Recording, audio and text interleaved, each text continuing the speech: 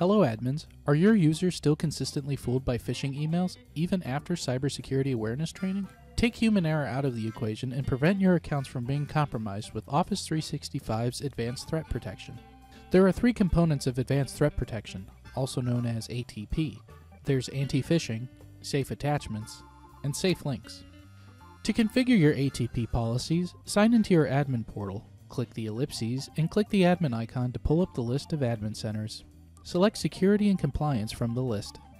If you want to skip a few clicks, you can also sign into the Security and Compliance Center directly at protection.office.com. On the left hand menu, click Threat Management to expand the menu and select Policy. Now we can edit our organization's default policy and create new policies. Let's start with anti phishing. If you edit the default policy, it means that the changes you make will affect the entire organization. If you wish to test your changes or create policies that affect only a subset of your users, then you should choose Create a New Policy. There are two methods to protect your organization either by adding individual users to a policy or by domain. If you choose to protect by user, you can list up to 60 per policy. If an impersonation match occurs, it will trigger an action you can define later. If you choose to protect by domain, any instance of an impersonation attempt for that domain will trigger an action. Actions are the same for both users to protect and domains to protect. However, since a specifically impersonated user may be more of a security concern for your organization, you may wish to redirect the message to an admin email address to analyze further or quarantine the message. And again, if your domain is impersonated, you have the same options. Also on this page, you can enable mail tips for your users. Since I am choosing to still deliver the message to the recipient, albeit through the junk email folder, I'm going to let the user know why the message ended up in the junk email folder by turning on impersonation safety tips. That way, the end user will know why the message ended up in the junk email folder and to be suspicious of the message. Moving on to Mailbox Intelligence, turn this feature on to utilize Microsoft's artificial intelligence to analyze your users' communication patterns and identify potential phishing attempts. So, if a user who almost never receives an email from the CEO of your company one day does, the message will automatically be analyzed for phishing determination. Of course, it is always possible when first configuring your anti phishing policies that legitimate mail is marked as phishing due to false positives. You can always add senders and domains to a safe list so that they bypass the anti phishing filter and are delivered normally. Finally, review your settings and click Save to enable your policies. If you create new policies, they will show up here.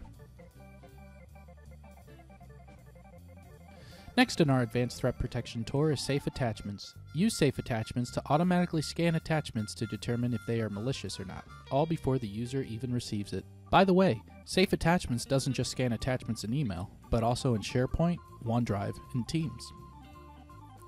Just like with anti-phishing, you can create multiple policies. In this policy, I'm going to replace any malicious attachment. You can also choose to redirect the blocked attachment to another mailbox for analysis. Finally, we apply the message to a group of users.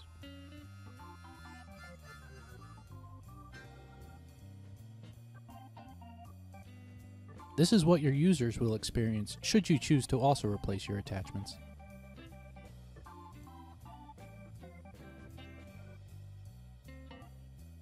Last but certainly not least, we arrive at SafeLinks.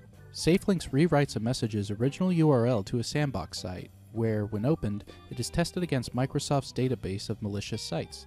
If it passes Microsoft's inspection, the user is allowed to visit the site. If not, you can choose to block access to the site or allow the user to go on ahead. The default affects the entire organization, but if you wanted to create a policy for a subset of users, click on the plus icon to create a new policy. Give it a name, and select the On option. Choose any additional settings for this policy. Scroll down to choose who the policy should be applied to, and click Save. By the way, if you want to include your own custom links, you can do that too by opening up the default policy, clicking the pencil icon, and adding your custom links. Remember, the default affects the entire organization.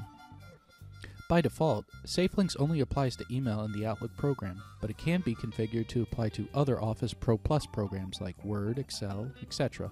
It can be configured to work on mobile devices and Office Online.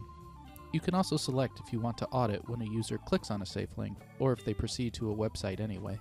By using Office 365's advanced threat protection, you allow both policy and artificial intelligence to govern your user's cybersecurity behavior instead of relying on just the user. It is a great set of tools to secure an organization of any size. I'm Steve with the Protected Trust Training Department, and we'll see you next time.